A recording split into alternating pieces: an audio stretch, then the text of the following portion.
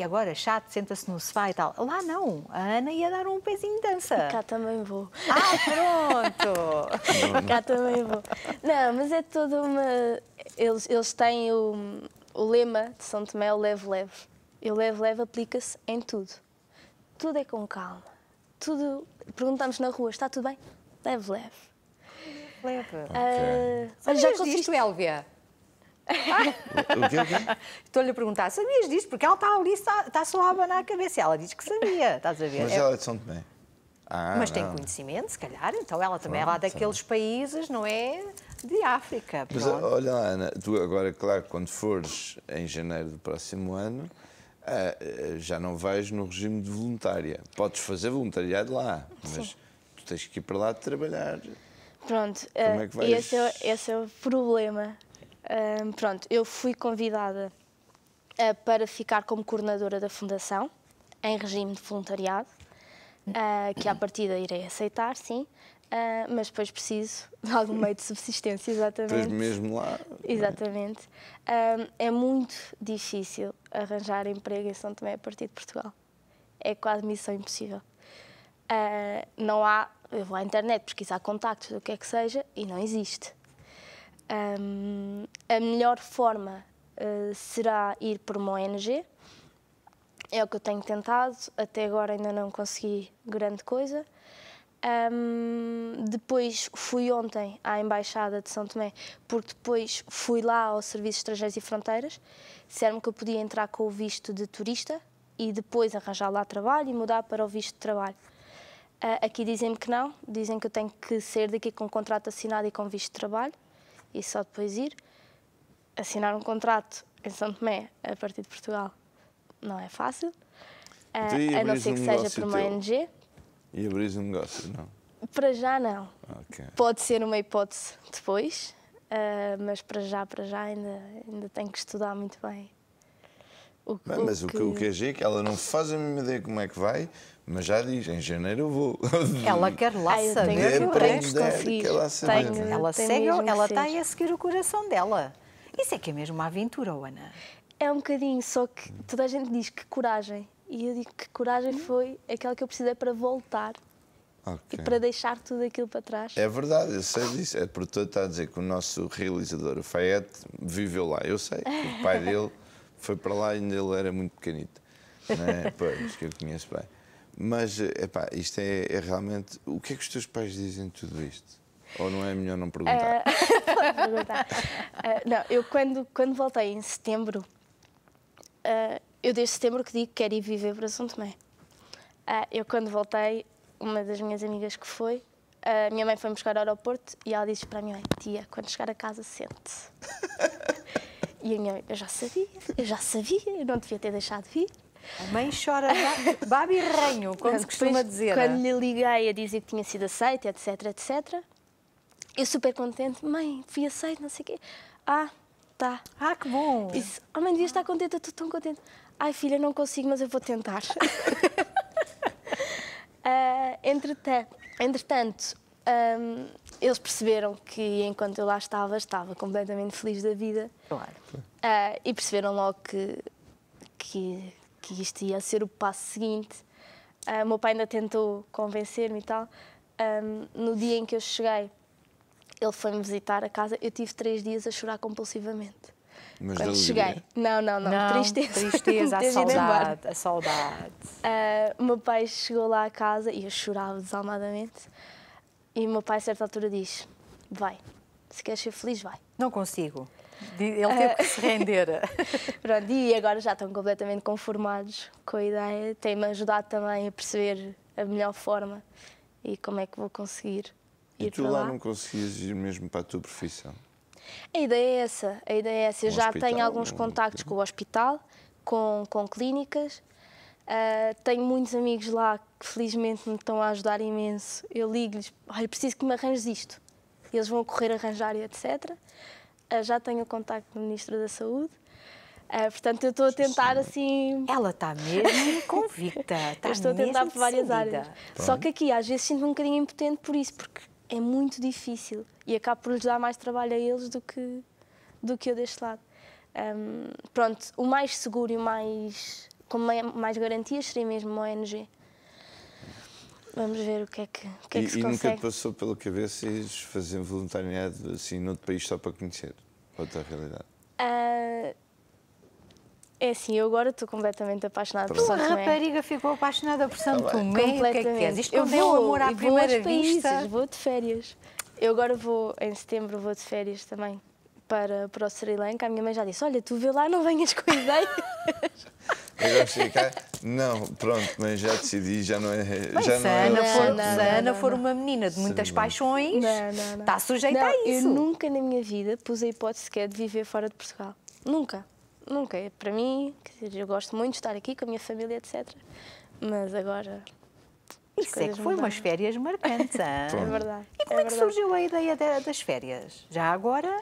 Ah, isso foi, estava com dois amigos, vamos viajar, etc. O São Tomé sempre foi um dos meus países de sonho, um daqueles países que eu queria muito conhecer. O meu pai, meu pai nasceu em Angola, viveu em Angola, Moçambique, Cabo Verde, São Tomé, em de sítios, ah, e as histórias que ele mais conta são de São Tomé. São Tomé. Portanto, eu, apesar de não conhecer muitos sítios de África, ah, sempre senti uma grande ligação. Ah, e depois, quando fui para São Tomé, eu, já, eu tinha ido à Guiné, adorei a Guiné, mas não houve esta ligação que houve Ah, com. São Tomé. Ah, e pronto, e, e assim foi. Depois conseguimos, consegui convencê-los aos dois a ir a São Tomé e fomos. Tens que ir à República Democrática do Congo, é o país mais lindo do mundo. Que a mulher dele é de lá. Olha, vamos, vamos passar as fotografias, que a gente está aqui na Vamos, conversa, estamos aqui de boca aberta a ouvir a Ana. Ah, nem, isto são histórias, eu, eu adoro estas se- e histórias. se a gente estar daqui a um bocado já não dá para passar as fotos, porque o tempo vai passando. Vamos lá ver então aqui. estas fotografias. Nós tínhamos, ah, fazíamos parcerias com outras instituições e esta aqui era da Dimix. A Dimix eh, trabalha muito com reciclagem e utilização de materiais reciclados. Estes são os meus quatro, os meus três colegas. Pronto, aqui, a Ana já está mais parecida. Aqui já É, estou- isto foi na só primeira para semana. te calar, ela disse, "Agora vou tirar as tranças. que Isto foi na primeira semana. É o Paulo, a Inês e a Mariana. Ah, uma das coisas que, ah, para onde faz e que eu acho que faz muito sentido, antes de ir, fazem uma reunião ah, em que explicam mais ou menos qual é o projeto, etc, etc, mas focam-se muito na gestão de problemas e conflitos. Porque, ao fim e ao cabo, estão a juntar quatro pessoas que não se conhecem de lado nenhum, Ah, numa casa a viver 24 horas por dia. vocês não se conhecem. Nós não nos conhecíamos, nós conhecemos lá. Ah, Ahm, aquilo tinha tudo para correr mal, mas acabou por correr lindamente. Porquê que tinha tudo Ahm, para correr mal? Tinha tudo para correr mal porque éramos todos completamente diferentes. A Inês, por exemplo, era vegan. Ah, teve a sorte de eu não comer carne, os meus dois colegas também não comiam carne. Ah, adaptámos todos à alimentação dela e a coisa foi lindamente. Ok. Ahm, Só tiveste que cortar com o peixe. Pronto. não, eu, eu ia comendo peixe e eles também de vez em quando, mas muitas vezes Não é preciso. não era preciso e fazíamos a alimentação vegetariana e não, não gostava nada. Ahm, pronto, era, quer dizer, de repente estamos os quatro, não nos conhecemos, a viver juntos num país completamente diferente do nosso, ahm, mas correu espetacularmente bem e damos todos super Em bem. algum momento nunca teve aquelas saudades de casa? Não. não. A única vez. Pronto, isto, isto vai ser absurdo, mas a minha família já está habituada. Ah, a única vez que eu chorei por saudades foi ao falar de videochamada com a minha cadela. Com a Com a cadela. minha cadela. Que é assim o grande a amor da minha vida. Cadela. Sim. olha. Epá, os pais não estão a ouvir Ah, isto, pois não, ah, mas eles sabem, eles sabem, eles já não Ai, ai, ai, ai, ai, oh, Ana. Não, eu, no dia em que cheguei ao aeroporto, é que nós estive a falar por videochamada com a cadela. Com a O que é que cadela. eu comecei a cadela chorar, disse? ela começou a chorar e o meu pai disse: Vá, não, não fales mais, que ela está a ficar triste. Pronto, e não falei mais. Oh, a Ah, sério? A sério. No dia em que eu cheguei ao aeroporto, a minha mãe foi-me buscar com a minha cadela. Como é que se Ah, chama a cadelinha? Zoe, Zoe. sim. Ah, e então eu, eu percebi que elas vinham aí, baixei-me, chamei-a, grande festa, etc. E a mãe da minha colega, da, da Inês, estava a filmar a cena e depois diz: Eu achei que ela ia assim para a mãe. Mas não, já toda a gente me conhece, já está habituado. Pronto, paizinhos, não levem Ok. a mal, não levem a mal, mas Bem. os nossos filhos Não, às não. vezes têm assim umas, pronto, umas destas. Claro. E do- mas do, do que é que sentiste mais eh, falta lá? Ou, ou também vais dizer que não sentiste falta de nada? Não não se sente, porque, quer dizer, aquilo que, que nós damos, que achamos que é uma necessidade básica cá, não o é lá e acabamos Sim, mas por não como não sentir. habituado, é, não- Mas não houve nada que me fizesse falta, quer dizer, o não ter internet, Tirando não ter telemóvel, sim. Não ter telemóvel, aquilo que eu fiz foi levei duas powerbanks, quando havia eletricidade punha a carregar, quando não havia utilizava a powerbank para carregar o Pois. telefone. Íamos adaptando assim, não houve nada que me... Se a vida também é levada sem stress, as pessoas começam-se por habituar, não é? Completamente. Aqui Aquilo é não. contagiante. Pois. O lema do leve-leve é altamente contagiante. E o pessoal ali do hospital, o que é que diz quando eles já sabem que tu queres? Ah, assim que eu Bem. cheguei, eles perguntaram-me, pronto, quando é que voltas? Ah, pá. Portanto, eles, eles perceberam imediatamente, também já me conhecem mais, já lá estou há uns anos, ah, perceberam claramente que, que tinha que voltar. Ah, e toda a gente percebeu que eu, que eu estava de facto muito feliz lá, portanto, não poderia ser de outra forma. É assim, por mais que nos custe, não é? Eu estou a falar agora mais para os pais, para os Sim. seus pais, mas por mais que nos custe, o que nós mais queremos e desejamos é ver os nossos filhos felizes. Claro. Claro que será difícil, porque uma coisa é a pessoa ir e estar um período, agora a outra é a pessoa estar permanentemente lá, não é? Mas é uma fase de adaptação, mas nós sabemos que os nossos filhos estão felizes, isso para nós já nos Exatamente, enche o exatamente. coração. Não, os meus pais tentaram inicialmente fazer mudar de ideias, mas rapidamente Sim, perceberam nós tentamos que... sempre, querida. A gente tenta sempre. Mas rapidamente perceberam que não É, era e hipótese, depois é aquilo portanto. que os seus pais estão a fazer, é tentar agora perceber quais os meios e como a podem ajudar. Isso é Exatamente, quando os pais já viram que, ok, ela é feliz, é ali, então Claro. vamos lá já a miúda, pronto, Sim, aí para a frente. Eu estou a falar assim porque eu também tenho uma filha já com 24 anos não tarde, pronto, e ela às vezes também tem as decisões dela. Eu às vezes digo que não, ou que não, não é bem assim ou assim, e custa-me, mas nós temos que deixar ir. A minha mãe diz que vai viver para São Tomé comigo. Ah, então pronto, é uma solução. Bem, o pai também já, o pai também já lá esteve, Exato, portanto, exato. olha, qualquer dia tem-os lá. Muda-se a família para São Tomé. E não querias? É melhor não responder. Epá, esta miúda. A Zoe Pode- vai, a Não, Zoe vai. Toda a gente pergunta se eu vou levar a Zoe. Não, mas não tem condições para ela lá estar. Claro. Portanto, prefiro que ela esteja aqui segura. Pois do é. lá. Bom, esta, esta conversa realmente é, é cheia de surpresas, cheia de.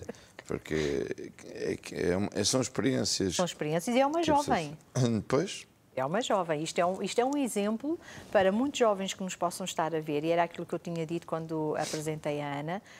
Po- podem estar jovens que querem até ter este tipo de trabalho, não é? Voluntariado, e não saberem como proceder.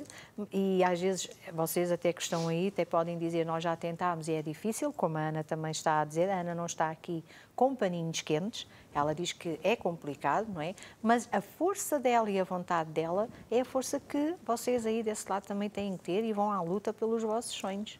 Não, Uma coisa que fazem muitas vezes os jovens entre o secundário e a faculdade, durante aqueles meses de verão, é uma ótima oportunidade para, hum, para embarcar numa aventura destas. eu já falei Tem com muito muitos. tempo. Eu já falei com muitos voluntários internacionais que já Uhum. passaram por aqui. Mas nenhum deles, me- muitos dizem, tenho que fazer mais vezes. Mas nunca nenhum me disse, vou para lá definitivamente, não quero saber mais disto para nada. Temos sempre uma primeira vez, não é? Então, temos aqui uma primeira convidada. a Portanto, no fundo, isso. ela está aqui a, a- a incentivar a fazer voluntariado, mas está a incentivar a não ir para São Tomé, porque senão vamos desertificar Portugal Toda de a, jovens. gente, toda a gente que diz que vai, que vai a São Tomé, eu aviso, vão, mas preparem-se, porque a possibilidade de quererem lá ficar é grande. E eu tenho, eu- sem exagero, três amigos meus que me foram visitar que querem ir viver para São Tomé. Pronto, Portanto- é a vida, mas também é assim. Cativou a Ana, cativou esses amigos, não é? Certamente há outros pontos pelo mundo que cativam outras Claro, pessoas. claro que sim, claro que sim. Claro, E São Tomé não é para qualquer pessoa. Pronto. Não é para qualquer pessoa. Portanto, há muita gente que vai, muito bem, em férias é ótimo, mas para viver aqui seria Claro. impensável. Claro. Pois. Ah, portanto, há de tudo.